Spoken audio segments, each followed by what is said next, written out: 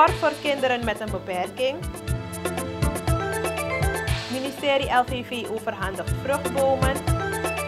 En Jason Pinas wint rechtszaak. Goedenavond en welkom bij het 10 minuten jeugdjournaal. Na twee jaar heeft het Bureau Speciaal Onderwijs weer groen licht gekregen om sportdagen te organiseren. In de Witte Lotus werd er een sportdag georganiseerd voor kinderen met een beperking. In de Witte Lotus werd een sportdag georganiseerd door de Ilonke Elmond Foundation voor kinderen met een beperking. De kinderen van de Mithiel, Motoro en de Jules Fernandes School hebben samen met vrijwilligers gesport en spelletjes gespeeld. Vandaag heeft hier iets geweldigs plaatsgevonden. We hebben de sportdag gehad voor kinderen met een beperking. Hier in Suriname, in de Witte Lotus. En we hebben een heerlijke, heerlijke, fantastische dag gehad. Kinderen hebben genoten, ze hebben gesport, ze hebben bewogen. Ze, hebben, ze zijn gevallen, ze zijn weer opgestaan. Ze hebben gewonnen, ze hebben verloren. Ze zijn gewoon super enthousiast en ze hebben mega genoten. Sport is heel belangrijk voor de gezondheid, je motorische en je sociale ontwikkeling. Dat geldt nog meer voor kinderen met een beperking, voor wie meedoen in het dagelijks leven net iets meer moeite kost. Sport is belangrijk voor kinderen en ook voor kinderen met een beperking. Dus uh, dit is een plek waar één, ze kunnen sporten. Sowieso hebben ze sport op school, maar ze kunnen elkaar ook ontmoeten. Kijk, met een beperking ben je toch beperkt om anderen te ontmoeten, om met elkaar bezig te zijn. En hebben ze toch vast, want we doen dit een aantal keren per jaar, hebben ze een moment dat ze elkaar tegenkomen, dat ze plezier kunnen hebben, dat ze kunnen kijken en een beetje kunnen, ja, met sport kun je, verbroedert het nou eenmaal. Aangepaste sport biedt mensen met een beperking de gelegenheid om ook deel te nemen. Hierdoor kan iedereen genieten van de voordelen op het gebied van gezondheid, vrije tijd, sociale activiteiten en sport. Als foundation maken we niet echt een onderscheid tussen wat voor beperking de kinderen hebben. Uh, dus ik heb er eerlijk gezegd ook niet op gelet.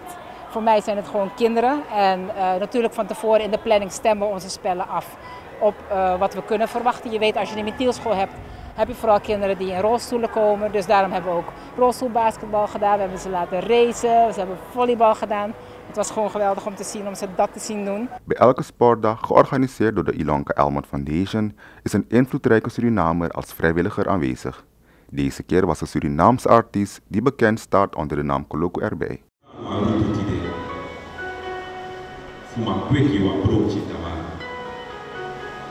Je praat uma consciência e me verstand. Tu sabe dat a piquet voor idee, na a brenke voor tamara libi. Mijn ervaring was heel leuk. Uh, kinderen zijn altijd leuk, ze zijn gezellig, ze zijn vooral competitief. Uh, ik vind het super wanneer kinderen um, hun beste zijde willen, willen zien en altijd gedreven zijn om te winnen. Eh, en dat heeft me wel het gevoel gegeven van, hey, ja, we zijn wel goed bezig, we zijn wel uh, in een goede richting. Het gedicht gaat over het kind, het, kind, centraal stellen, um, het kind vormen, het kind de tools geven om zijn, zijn mannetje te staan in deze maatschappij. Het kind eigenlijk ook de ruimte geven om kind te zijn. En dat is eigenlijk de rode draad van het gedicht. Sport in je eigen buurt, andere kinderen ontmoeten, plezier maken, van elkaar leren. Dat zou je ook graag zien voor kinderen met een beperking en nooit meer alleen aan de zijlijn staan.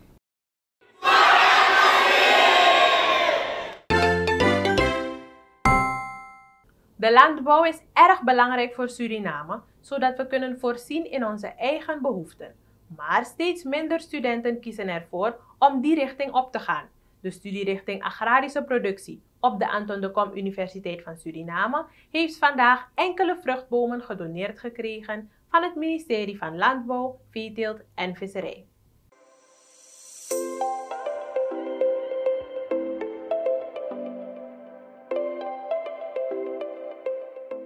Je eet elke dag, wat betekent dat je moet weten wat er in je lichaam gaat. Vandaag staan we op de Anton de Universiteit van Suriname, waarbij het ministerie van LVV de overhandiging doet van een paar vruchtbomen. Er werd door ADEC aan het ministerie van LVV een verzoek gedaan om een samenwerking aan te gaan voor het aanleggen van een fruittuin. Dit met het doel de kennisontwikkeling in ons land op gang te brengen. Het ministerie kon zich helemaal terugvinden hierin omdat zij van mening zijn dat dit een manier is om ons land Suriname financieel stabieler te krijgen. Met meer export en minder import besparen wij op zo'n manier onze deviezen. Heel belangrijk voor deze samenwerking is natuurlijk de, uh, om uiteindelijk de kwaliteit van onderwijs ook uh, op te voeren. Omdat, uh, ik heb eerder gezegd, wil je die voedselvoorziening garanderen, nationaal, internationaal, dan is het noodzakelijk om te komen met nieuwe ontwikkelingen, nieuwe technologieën, omdat je wordt dus geconfronteerd met die onder andere de climate change.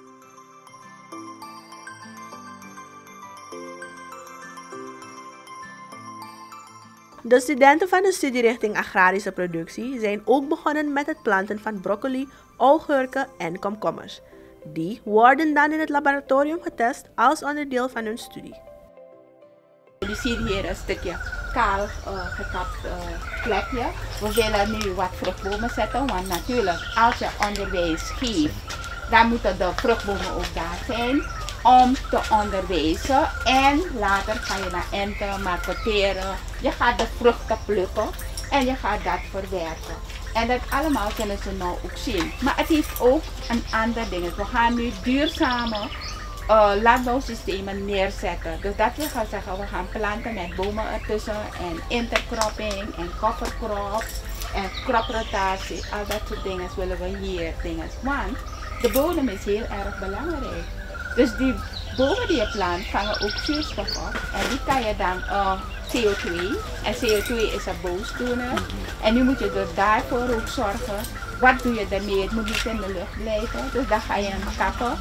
Weer een mulchen in de grond brengen. En dat soort dingen. Ja? 28 stuks kersen, tangelo en sinasplanten werden overhandigd aan de studierichting Agrarische Productie. Enkele daarvan werden meteen de grond ingestopt.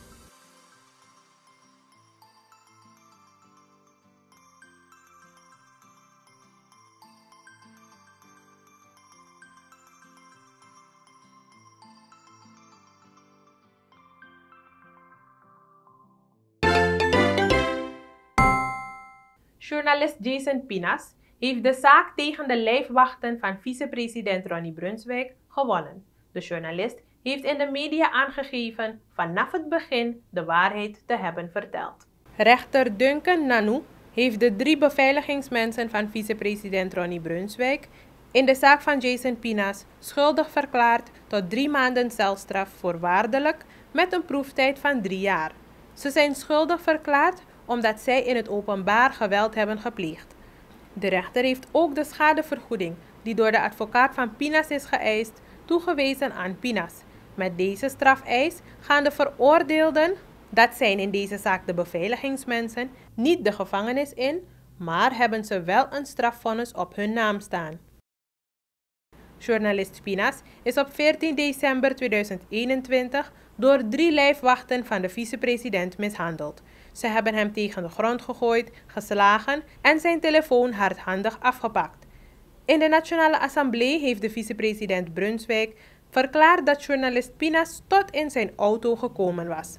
Niet vrijgegeven beveiligingscamerabeelden laten zien dat de verklaring niet klopt. Jason Pinas besloot aangifte te doen tegen de lijfwachten van de vicepresident. Jason Pinas laat weten dat hij blij is met het vonnis van de rechter en hoopt dat de vicepresident publiekelijk zijn verontschuldigingen zal aanbieden. Ik heb vanaf het begin gezegd dat ik zuivering wil van mijn naam. Dat de waarheid verteld wordt. En ik ben blij dat um, het recht heeft mogen zegevieren vandaag. De rechter is duidelijk geweest in zijn vonnis.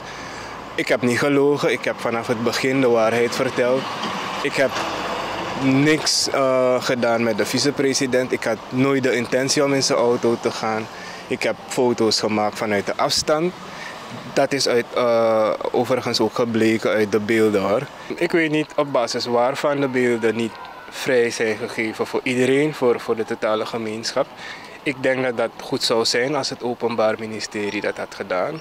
Of dat nog doet misschien. Uh, zodat iedereen kan zien, want wij hebben de beelden wel kunnen bekijken hier in de rechtszaal. Maar ik denk dat het goed is voor iedereen uh, dat ze de beelden kunnen zien. En dat ze hun dan, dan duidelijk kunnen zien wat er zich heeft afgespeeld. En dat de mensen die nog misschien twijfels zouden kunnen hebben, dat ook zij overtuigd kunnen zijn van het feit dat ik niks verkeerd heb gedaan. Hiermee zijn we aan het eind gekomen van het 10 minuten jeugdjournaal. Bedankt voor het kijken. Goedenavond. Thank you.